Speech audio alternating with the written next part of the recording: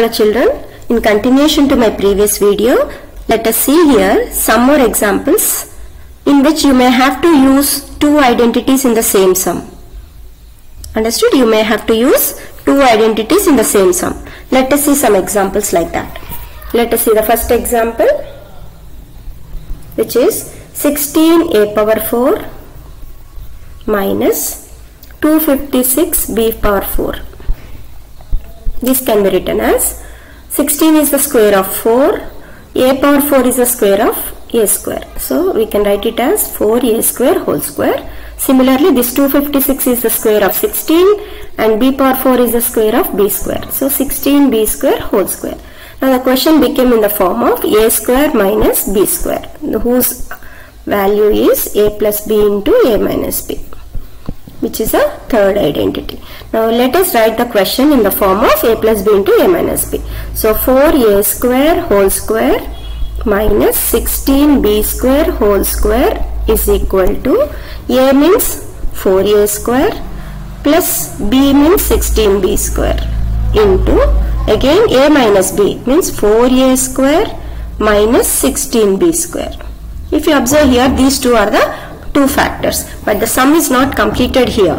We have to continue further because the first factor will be written as it is but whereas the second factor can be again splitted in the form of a square minus b square because minus sign is there in the middle. So let us continue further. The first term as it is first factor as it is 4a square plus 16b square. But the second factor I am going to change it as 2a whole square minus 4b whole square. So 2a whole square is nothing but 4a square, 4b whole square is nothing but 16b square. Did you understand? This and this. So now first factor again as it is 4a square plus 16b square into now this is in the form of again a square minus b square the second factor again we have split it in the form of a square minus b square. So I can write it as 2a plus b 4b into 2a minus 4b. So this one is splitted in the two factors. a square minus b square can be written as a plus b into a minus b where a is here 2a and b is 4b. So we can write it as a plus b into a minus b. So this now the question is over. So in this we have applied same identity but two times. Now let us see full sum once again. 16a power 4 minus 256b power 4 is splitted into totally three factors. First factor, second factor and third factor. Here you are getting three factors. So now let us go to the second example. Coming to second example.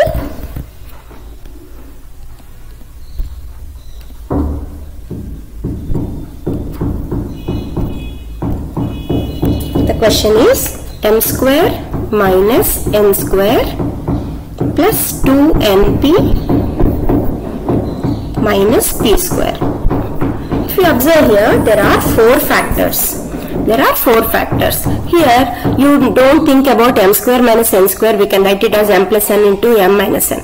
Don't write. Because if you write that as that identity if you use here these two factors we can't do anything. So let us group them in another way. What way? Let us take last three as one group. We can apply either first identity or second identity because the trinomial can be factorized either in first identity or second identity. So m square will be as it is and take minus sign outside. If you take minus sign outside n square becomes positive. Actually here m square is negative. So minus sign if you take out you will get n square inside positive and uh, 2np becomes negative minus 2np because minus into min minus into minus is plus plus 2np and minus p square is there third term that becomes already minus sign is outside so plus p square you should write so now in this way you have to write next if you observe here m square as it is and this identity m square minus 2np plus p square can be written as m minus p whole square. Why?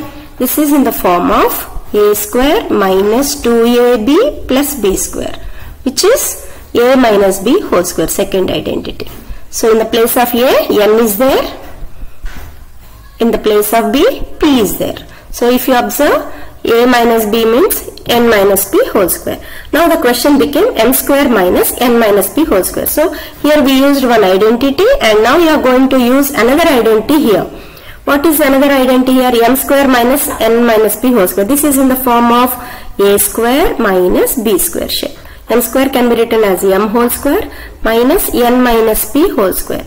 So the identity we are using here is a minus a square minus b square is equal to a plus b into a minus b. Now let us use that identity and further factorize. m square minus this is a plus you have m and uh, b plus you have n minus p.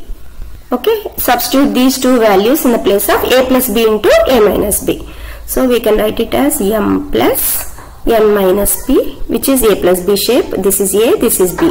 Similarly, m minus m minus n minus p. This is nothing but a minus b.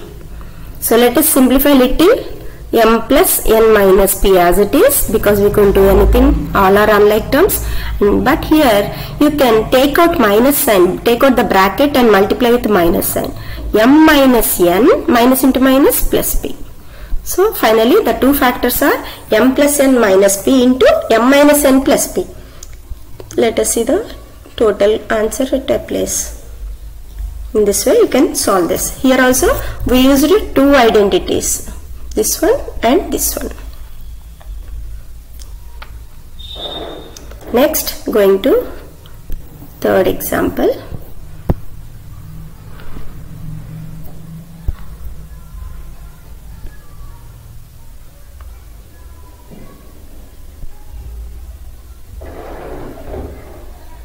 Example 3 the question is 9a power 4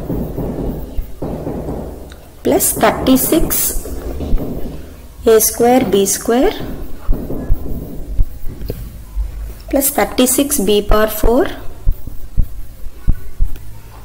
minus 81 here also you are seeing four terms. So these four terms also should be grouped in a suitable manner so that we can apply laws separately. So let us group first three terms as one trinomial and 81 as separately another term. So in the first three terms you can write this as 3a square whole square and the last third term as 6b square whole square. Okay. And middle term should be in the form of 2ab shape. So here a is 3a square and b is 6b square. So let us write in the place of 2ab these two numbers. 2 into a means 3a square, b means 6b square. If you multiply once check 2 into 3 into 6. 2 3s are 6, 6 6 are 36.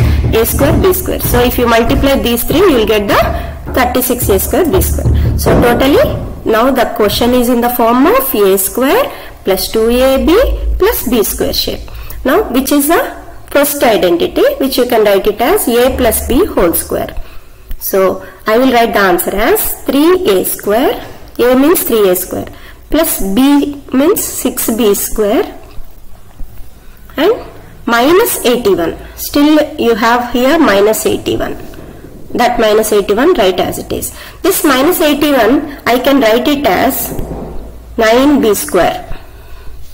9 whole square sorry. So now this is in the form of whole square here. So this is a plus b whole square. This is 9 square. So which is again totally this is you think as a and this think as b. So which is nothing but a square minus b square.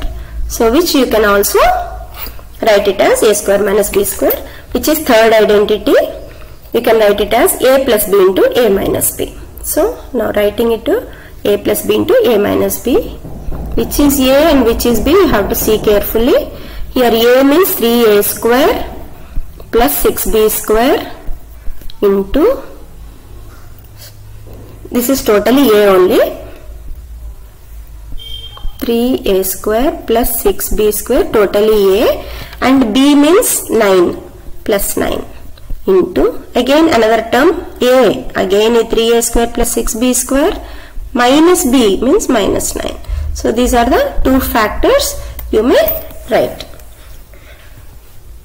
That's all